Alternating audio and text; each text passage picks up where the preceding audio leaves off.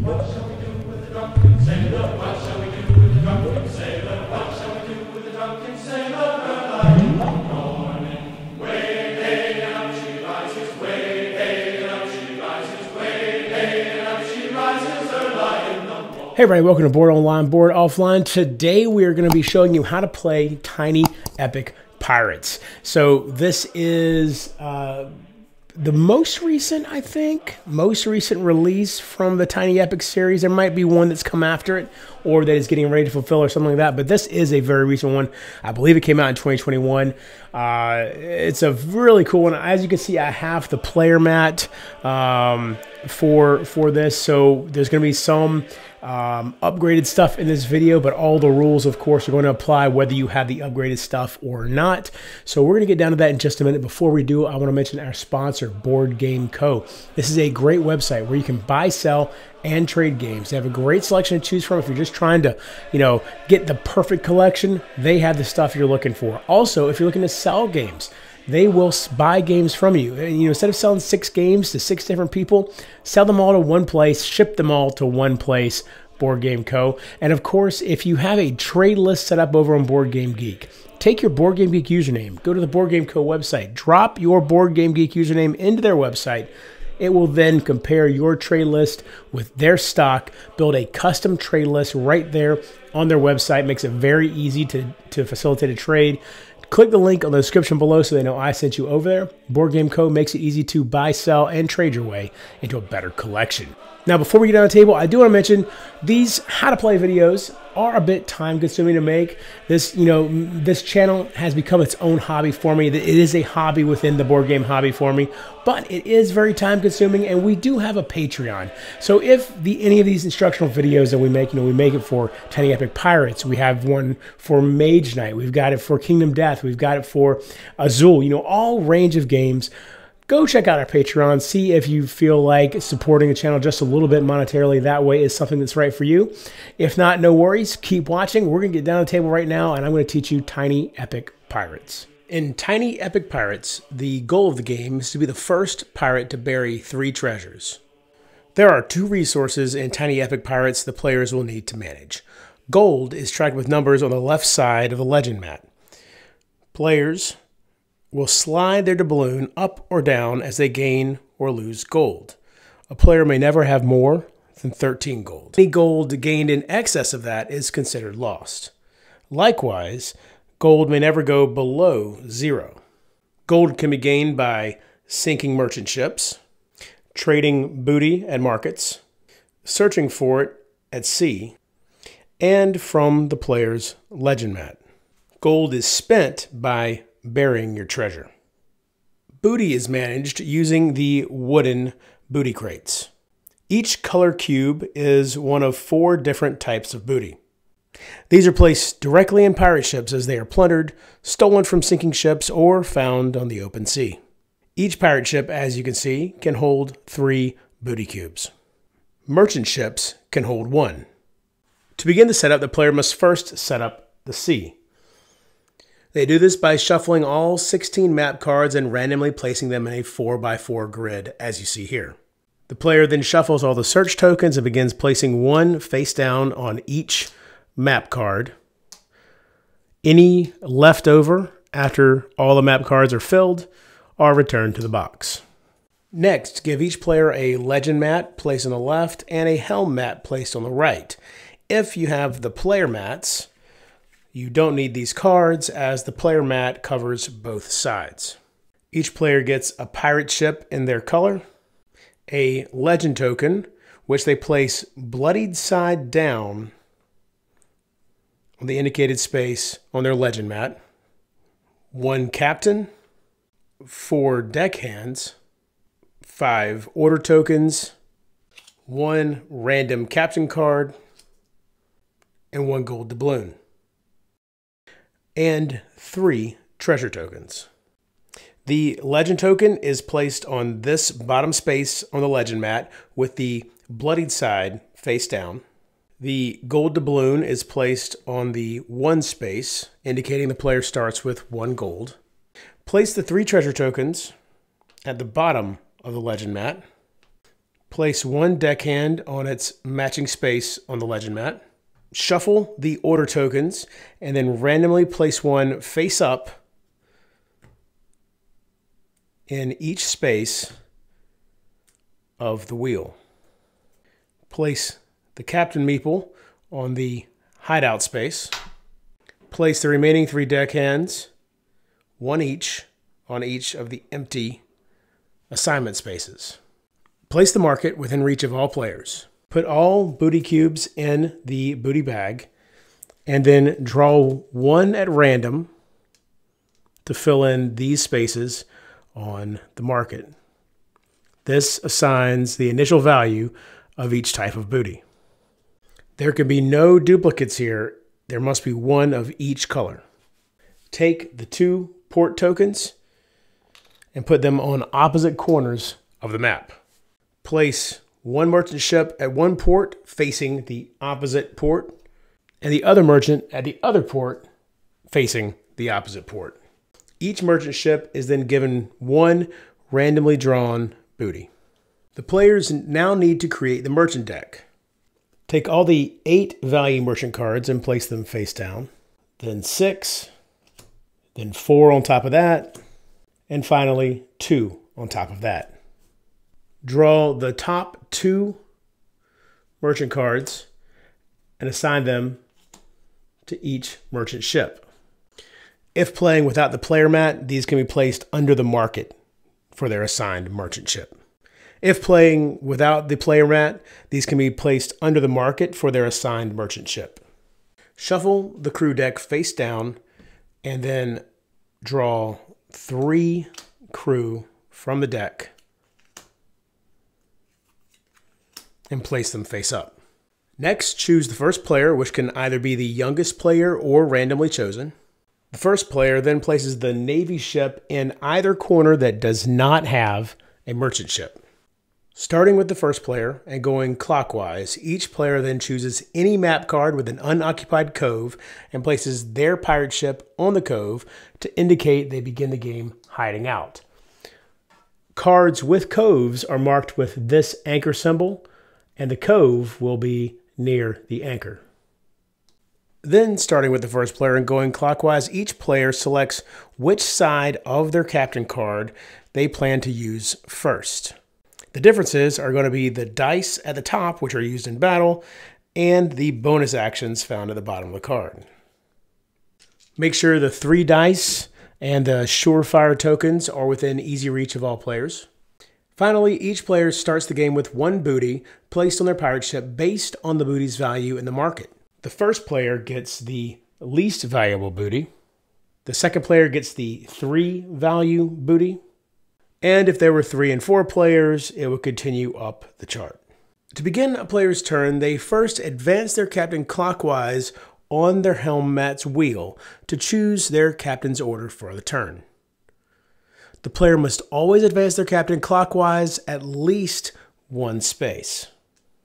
Moving one space on the wheel is always free, but players may skip spaces if they choose to by placing a deckhand on the skipped space. These deckhands may be taken from any of the four deck assignments at the bottom of the helm mat, and this may be done multiple times. A player may never move all the way to the space they started at, even if they have enough deckhands to reach it. Also, a player never needs a deckhand to skip the hideout space. Any spaces that already have deckhands from a previous turn may be skipped again. When one of these spaces is skipped or moved onto, the player immediately moves the deckhands onto any deck assignment. Deckhands moved from the wheel to an assignment in this way cannot then be used to skip more spaces in the same turn. Any number of deckhands may be placed into the same assignment. For each deckhand in rigging, the player gains one additional movement when sailing. Each deckhand in cannons gives the player one additional damage when battling, and each player in extort gives the player one gold when the captain crosses the ship line. Repair is where a deckhand is placed when the ship is jostled. While in repair, they may not be assigned to other assignments unless a reassigned bonus action or hideout order is used. However, they still can be used to skip spaces. After the player chooses their captain's order and assigns deckhands, the player may sail their pirate ship as many map cards as they are allowed. This is determined by the movement noted in the player's legend level plus one per deckhand in rigging, plus any search tokens that grant additional movement. So, if the player was currently level one, a sea dog on the legend card, they have one movement. Then, if they had one deckhand assigned to rigging, they would have one additional movement. And if they had this search token, they could then discard it for two additional movement for a total of four movement. The player may then sail across any number of map cards up to their total movement. The player's sail path must be to map cards orthogonally adjacent. Once done, the player places their pirate ship in the center of the final map card making sure not to cover any islands. A player may freely sail into and out of map cards with other ships without any penalty. When a player sails their pirate ship onto a map card with a storm, the ship gets jostled. It's possible this will force a deckhand out of rigging, which will reduce the total movement and could prevent the player from reaching their destination. If the player sails into multiple storms, they will get jostled for each one, but jostling only occurs when entering a map tile with a storm. So let's discuss getting jostled for a moment. A ship can get jostled either from storms or from losing an attack. If there are deckhands on rigging, cannons, or extort, the player chooses one deckhand and moves them to repair. If no deckhands are on any of those three assignments, the player instead moves any one deckhand from the wheel onto repair. If all deckhands are already on repair, the player does not get jostled from losing an attack. However, if all deckhands are in repair, the player may not sail into a storm. After sailing, the player may execute their captain's order, which they previously chose. Let's take a look at these in detail. If the players are on a map tile with this icon, that means there's a settlement there. If the players chose plunder as their captain's order, they immediately draw booty crates from the booty bag and load them to their ship. The number of crates is dependent on the number of crates shown here. So in this case, two. A player's pirate ship can hold a maximum of three cubes. If there's no room for a cube, they may discard the drawn cube or discard a cube already on their ship and replace it with the new one. Either way, the discarded cube is returned to the bag. Trade allows the player to sell booty from their ship at the market for gold. While on a map card with a market icon as you see here, the player may sell the indicated booty, in this case, purple cubes, which is rum.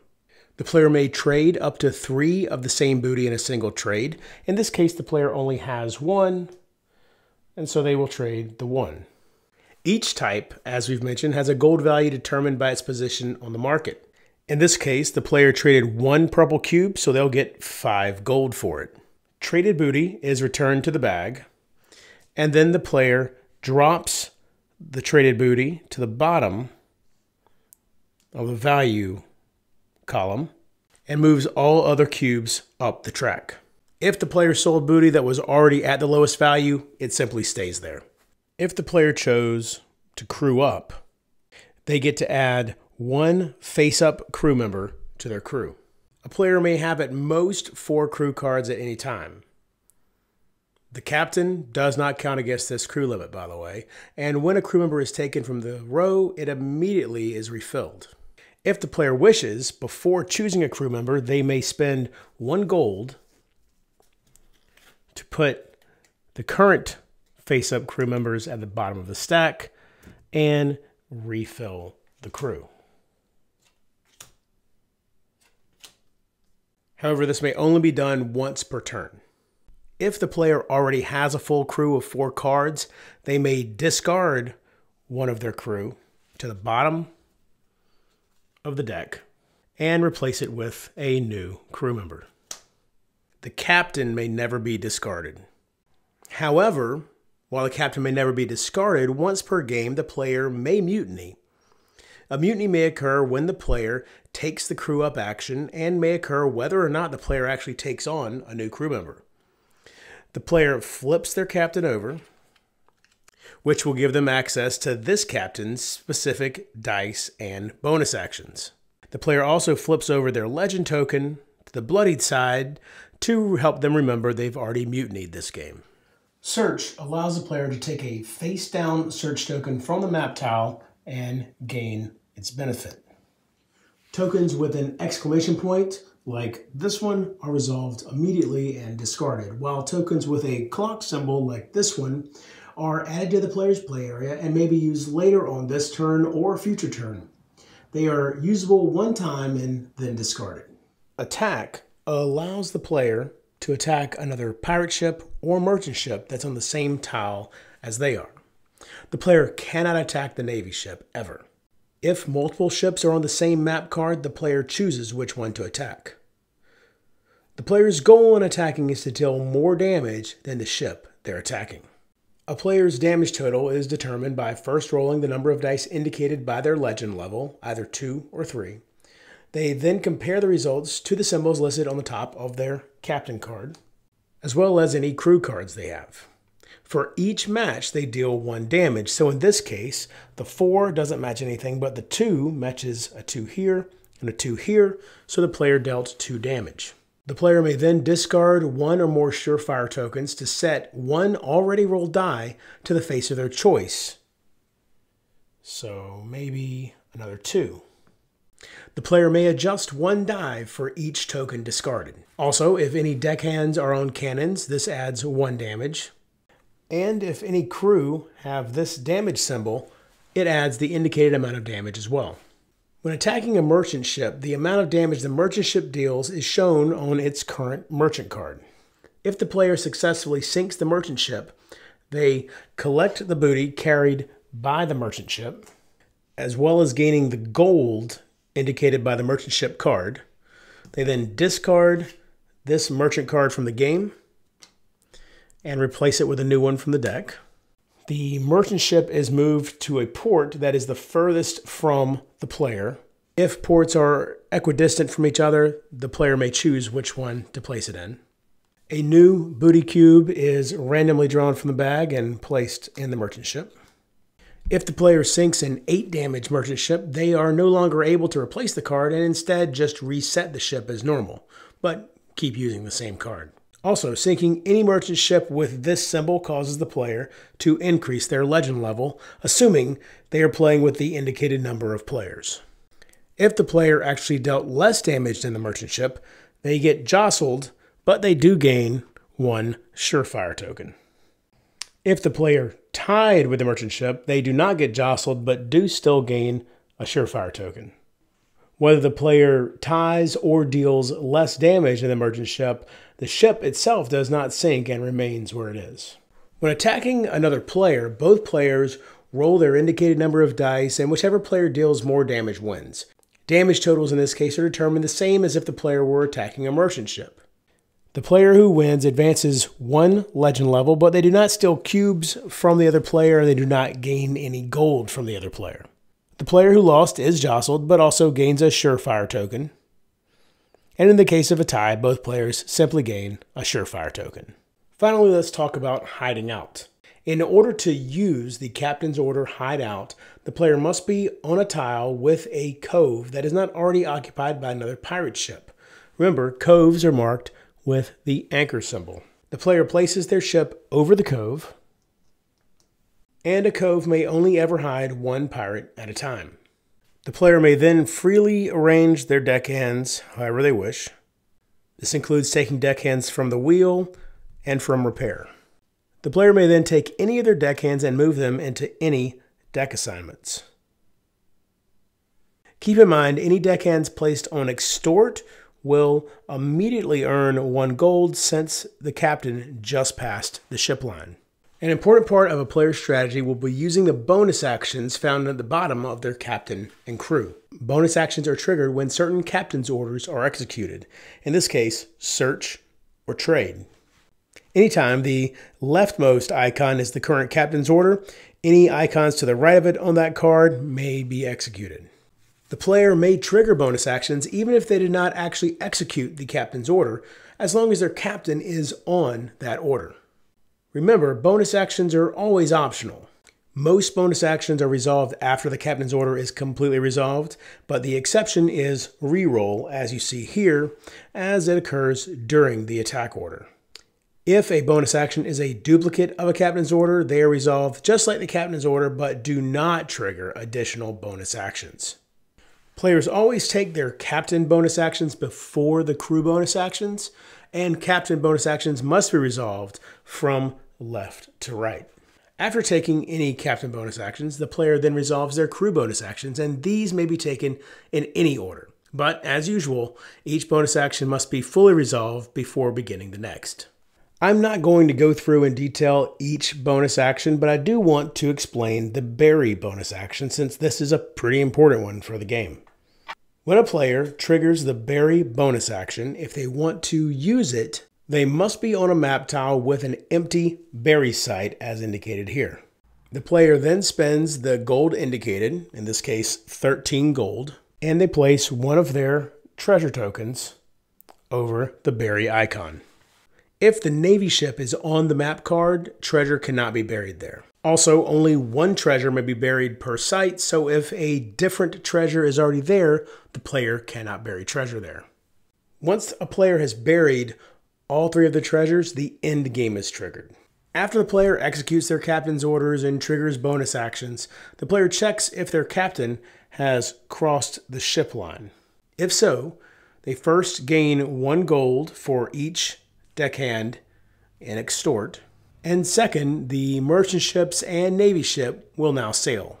The sailing of these ships is performed by the player to the right of the active player. First, sail the orange merchant ship by moving it one space closer to its indicated port, and then do the same with the green merchant ship. Each sails one movement toward their targeted port. When sailing, Keep the ship pointed in the direction it's moving, that way there's no confusion. The player may choose which map tiles the merchant moves onto as long as it moves toward its targeted port with each movement. Remember, when the merchant ship reaches its indicated port, it will replace the booty it currently has with a new one, and it will turn around and go towards the other port. Also, merchant ships are unaffected by storms. After sailing the merchant ship, the player now sails the navy ship toward the active player. Its movement is based on the number of treasure chests the active player has buried. Currently, the active player has buried zero treasure chests, so as you see here, zero treasure chests, it moves two movement. The Navy will always sail towards the active player even if they are hiding in a cove, and it will stop on the active player's map card. The Navy is not affected by storms. If the Navy enters the same map card as the active player, it stops moving and attacks the active player unless the active player is hiding in a cove. The Navy will only ever attack the active player and ignores all other pirates. When the Navy attacks, it automatically wins. The player's pirate ship is jostled, but unlike normal jostling, this time they must move all their deckhands, including any on the wheel, into the repair spot. The player does not gain surefire tokens when attacked by the Navy. Once the current player has resolved crossing the ship line, if applicable, that's the end of their turn, and the next player in clockwise order begins their turn. When the player wins a battle against another player's pirate ship or sinks certain merchant ships, they immediately advance their legend token by one. With each new level, the player immediately gains one-time bonuses and may also increase the number of movement the player receives and the number of dice they roll when attacking. The player may receive gold, a surefire token, or an extra deckhand. Once the legend token reaches the final level, the player no longer receives bonuses even if they would gain more legend. When a player has placed their third and final treasure token, the end of the game is triggered. Continue playing until all players have had an equal number of turns, then the game ends. The player who buried all three treasures wins the game, but if multiple players have buried all three treasures, then the player with the highest legend wins the game. If still tied, the player with the most gold wins the game. And if still tied, the player with the most booty currently on their ship wins the game. If still tied, players enjoy a shared victory. So there you go. That's how you play Tiny Epic Pirates. I hope you enjoyed this video. Be sure to check out our Patreon. Be sure to subscribe to the channel. Click the bell, like the video, all that good stuff. And until next time, if you're bored online, Board Offline.